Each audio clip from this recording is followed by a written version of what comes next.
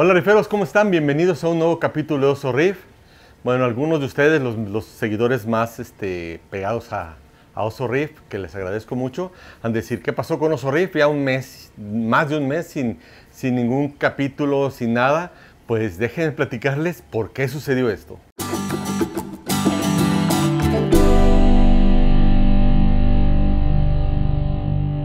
Pues algunos de ustedes recordarán que aparte del hobby del, de la pecera, tengo el de las combis. Bueno, aquí en México es la combi, eh, ahí en Costa Rica las bochas. De hecho, por, eh, por ahí me encontré este, en Costa Rica con un buen seguidor de Osorrif. Bueno, no pudimos coincidir por las distancias, pero bueno. A lo que voy es que decidí embarcarme en un trayecto por tierra manejando mi combi de México a Costa Rica a un evento que fue el 30 de abril y regresar manejando, apenas regresé hace tres días. Entonces, durante todo este tiempo, pues el Alex fue el que estuvo a cargo del, del, este, del tanque, hizo buena labor, pero les quiero platicar los pros que encontré de, de mi viaje, eh, las pérdidas, pues realmente de pérdidas en todo este mes y medio, lo puedo decir muy feliz, fue la almeja, que fue lo único que se fue. Aquí está, dice Alex que de repente ya no abrió hasta que pues ya se me fue mi almeja, ya conseguiré otra. También se fueron algunos fracs, pero de los males el menor. Encontré algunos fracs eh, volteados como este de aquí, lo voy a poner. Digo, ahorita nomás limpié el vídeo para hacer este video y platicarles cómo me fue. Eh, por ahí algunos fracs muertos. Otra cosa que encontré fue la reproducción de aptáceas de nuevo. Están haciendo de las suyas, pero ya llegó su, su verdugo, así como las majanos que también estando libres, pues el montón de majanos y no se diga de las asterinas. Ahorita casi no se ven, pero en la mañana que me levanté y vi como unas 50 pegadas al, vidrio, pues luego, luego empecé a, este, a, a sacarlas, a succionarlas y bueno, ahí voy a, voy a conseguir un buen arlequín para que les dé fin. Pues como ven el tanque, quiero que ahorita lo vean, que eh, Ale le haga algunas tomas y les voy platicando los parámetros. Déjenme comentarles que cuando me fui, una noche antes andaba corriendo como loco, apagué el skimmer y la verdad se pasó a decirle a Alex que lo conectara, entonces pues se quedó sin skimmer 45 días.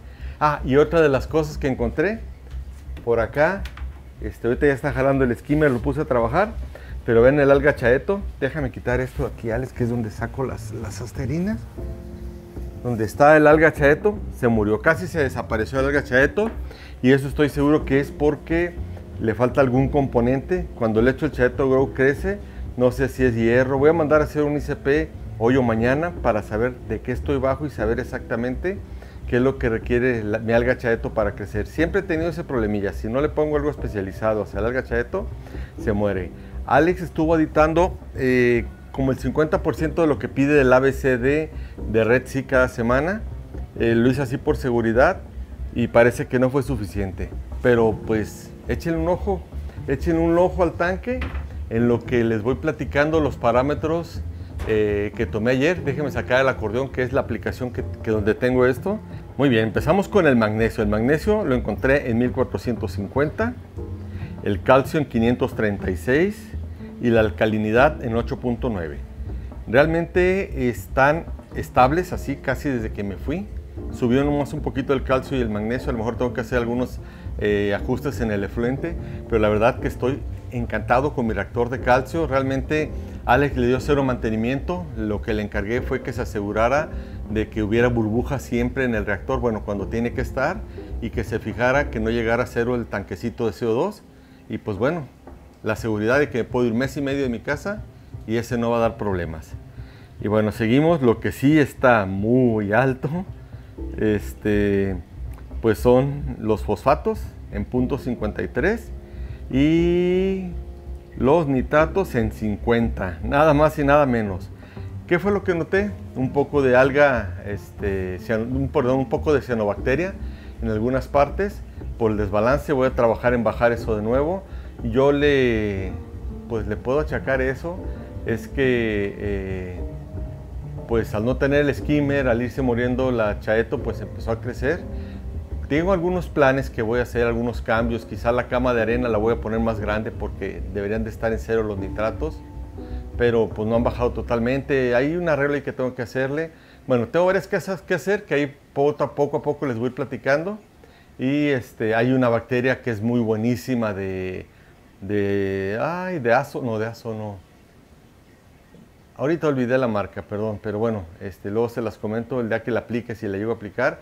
Voy a quitar totalmente la chaeto de momento, voy a cambiar el skimmer del lugar para hacer una, un área más grande para la chaeto y así mismo para crecer también el, el, filtro de, de cama profunda con azufre.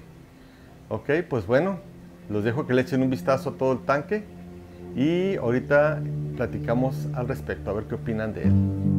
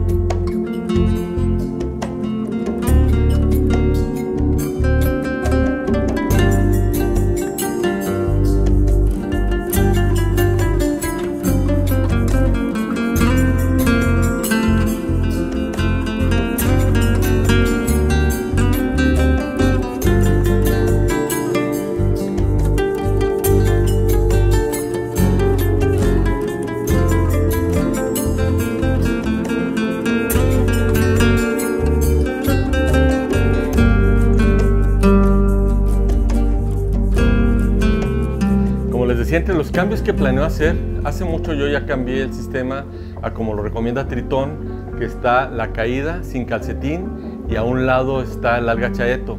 Como no me ha funcionado muy bien, voy a regresar al calcetín y voy a regresar al esquime en el primer paso y en el segundo el, este, el alga chaeto, a ver cómo, cómo se me da, a ver qué cambios veo. Ya les platicaré. Si siguen subiendo los nitratos y fosfatos, estaba funcionando Tritón, si no, no. No digo que no funcione, a muchos le funciona. Yo no sé a qué se deba, pero mi tanque siempre he tenido problemas de nitratos altos, aunque bueno, de todos modos los corales están felices. Este, pero bueno, ya les iré platicando. Otra cosa muy importante, me gustaría que me compartieran algún tema del que quieran que ustedes que les platique. No importa si ya lo platicamos, si ya lo hablamos, pónganmelo en los comentarios y preparo un capítulo para eso. ¿De acuerdo? Pues no, no olviden suscribirse a los que no se han suscrito y nos vemos en el próximo capítulo de Oso Riz.